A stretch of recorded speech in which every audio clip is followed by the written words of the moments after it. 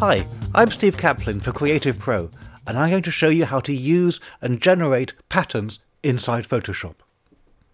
And we're going to start with these two flowers, which incidentally were AI generated in Photoshop.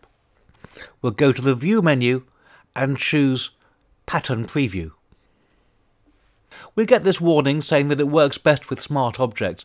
That's okay, we can still work with any kind of layer to make these patterns. We'll say OK. And you can see this blue rectangle appearing around our image. If we zoom out, you can see our image is replicated all across the canvas. If we pick up one of the flowers and move it, it moves in all of the spaces.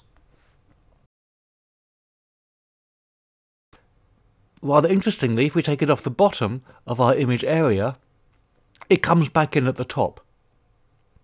And that's the way that pattern previews work inside Photoshop.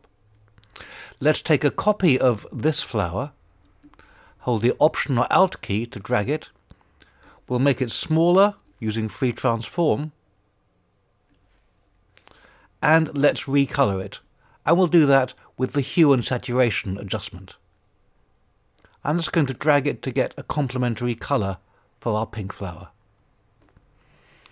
With Option or Alt again, we can drag more copies around our canvas and we can place them wherever we like. Let's add some stalks behind these flowers to tie them together. So we'll go to the background, we'll make a new layer and we'll call it stalks. I'm going to select a pale green colour and now with the brush tool we can paint behind these flowers. And note that when we go off, in this case the top, it comes back on the bottom. So we can paint right across our canvas as we join up all of these flowers. Let's add a couple of leaves.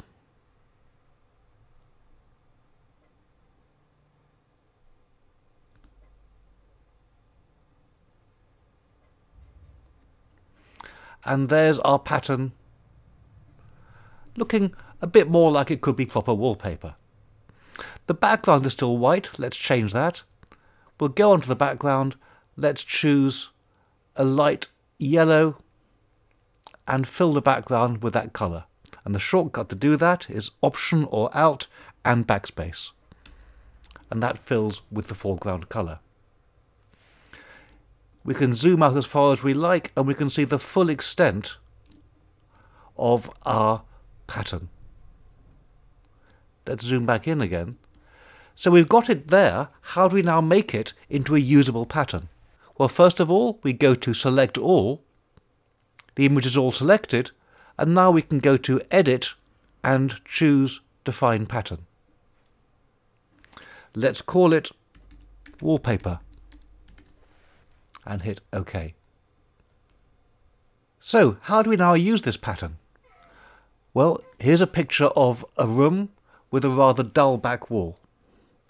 I've isolated this wall onto a separate layer now the easiest way to apply our pattern is to go to Layer, Layer Style and choose Pattern Overlay. This is the last pattern I used, it's a grassy texture. Let's change that to our new wallpaper pattern. Now clearly this is very much too big. We can make it smaller by dragging the scale slider as we do so, it gets smaller and smaller. We can also use the cursor keys on the keyboard to make the pattern bigger and smaller. And that, I think, is a good size for this wall. I don't like the way that all of these flowers are in a straight line, so let's rotate the pattern slightly. And that looks much better as wallpaper.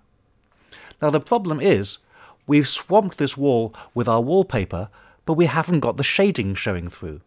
Now it's a white wall with shadows, so let's change the blend mode of our wallpaper from normal to multiply. And now we can see the shading showing through on our wallpaper and it looks very much like it should belong in this room. And that's the easy way to make and use patterns in Photoshop. Well, I hope you enjoyed this video. If you did, be sure to give it a like and subscribe to our channel.